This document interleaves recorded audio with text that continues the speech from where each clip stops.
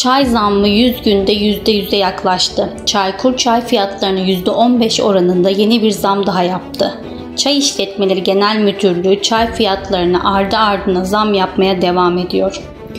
Raflardaki çayların fiyat etiketleri bugün gelen zamla birlikte Haziran'dan bu yana dördüncü kez değiştirilecek.